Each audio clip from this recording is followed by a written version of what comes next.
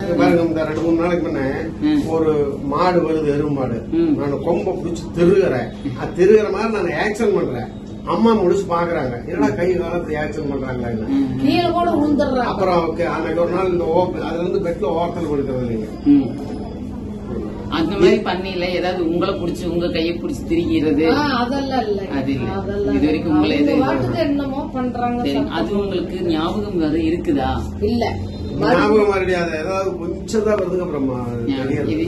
எத்தனை மணிக்கு வருது இந்த மணி பதினோரு மணிக்கு மேலதாங்க.